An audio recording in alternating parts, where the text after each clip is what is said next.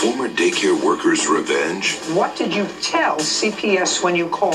That a table had filled on, a baby. You didn't feel as if your child was in danger. You took her back there the next day. Judge Judy. Next on WBZ Channel 4.